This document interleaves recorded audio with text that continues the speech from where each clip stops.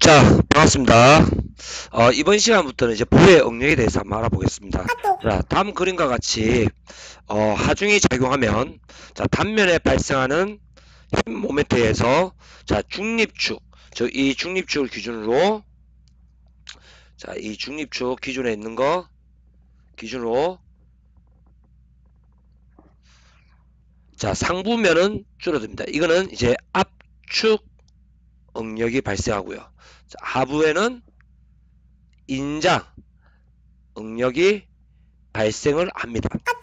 따라서 자 따라서 이렇게 힘 모멘트에 의해서 힘 모멘트에 의해 자 중립축을 기준으로 자 보 상부는 줄어들고 줄어들고 즉 압축 응력이 발생하고 보의 하부면은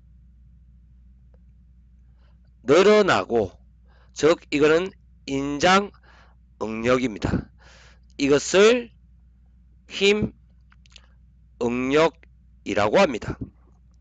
이해하시겠죠? 자, 다시 힘 응력은 자, 힘 모멘트에서 중립축을 기준으로 보의 상부면은 줄어들고 압축력, 하부면은 늘어나고 이건 인자응력, 이것을 힘응력이라고 합니다. 자, 힘응력식 유도입니다. 자, 힘응력식 유도에 있어서 자, 오일러 베르누의 가정입니다. 오일러 베르누의 가정. 자, 탄성 한도 내에서는 응력과 변형은 비례한다. 이거는 후크의 법칙이 성립이 됩니다. 두 번째, 변형 전에 부재축의 직각인 단면은 힘에 의한 변형 후에도 부재축의 직각인 평면을 유지한다. 이거는 평면 유지 가정의 법칙입니다. 자, 오일러 베르누의 가정입니다. 탄성한도 내에서는 응력과 변형은 비례한다.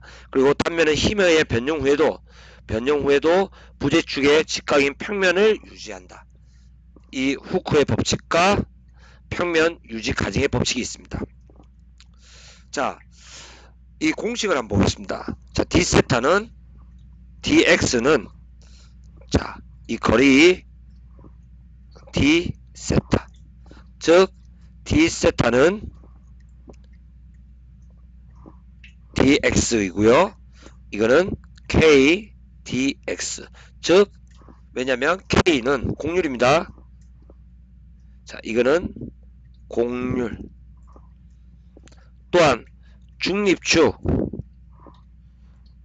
y만큼 떨어진 위치에서의 변형률은 변율 x는 dx 마이너스 x는 자 dx는 마이너스 y d 세타는 마이너스 y 즉 이것은 마이너스 ky가 됩니다. 세 번째 응력 x는 탄생계수 변형률 x는 마이너스 2ky 즉 m은 인테그랄 x day는 마이너스 2ky 제곱 da는 마이너스 2ky 제곱 da는 마이너스 2ki가 되겠죠. 따라서 공률 K는 마이너스 2i분의 m은 이런 식으로 식이 유도가 됩니다. 따라서 x는 마이너스 2ky고 마이너스 2 마이너스 2 i m y니까 i분의 m y가 됩니다.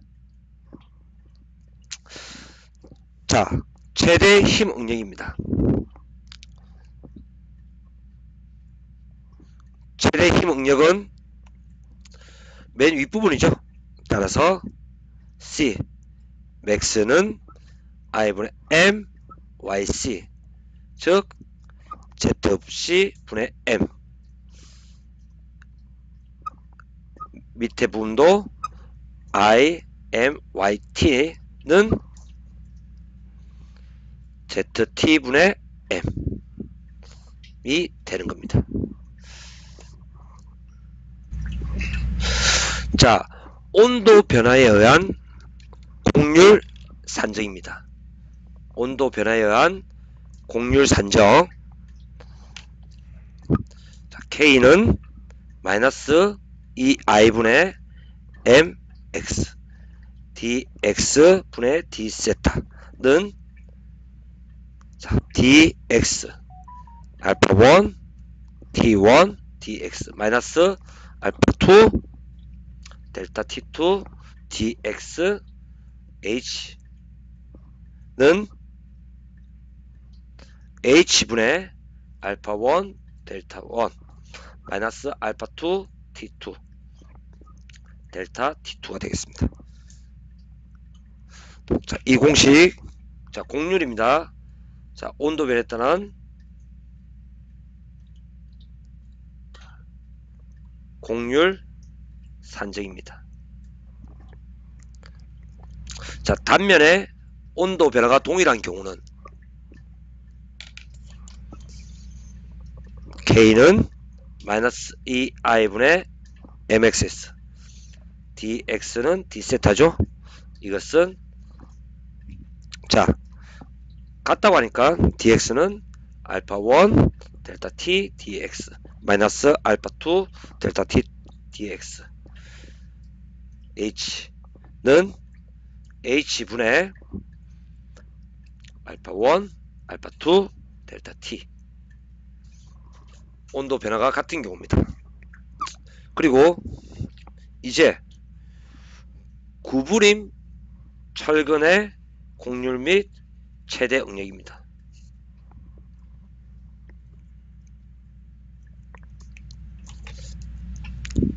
이 상태에서 K는 R 플러스 2분의 D 1 따라서 응력 B 맥스는 2 KY는 2 R 플러스 2분의 D 분의 1 곱하기 2분의 D가 됩니다.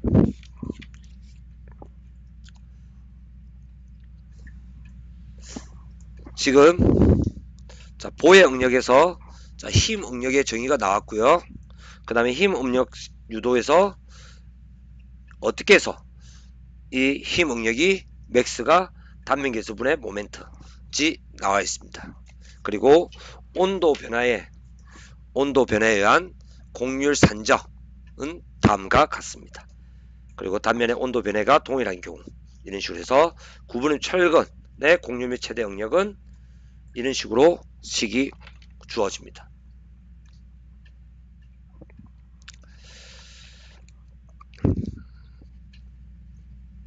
2022년 6월 23일 안병희 더 베스트 or nothing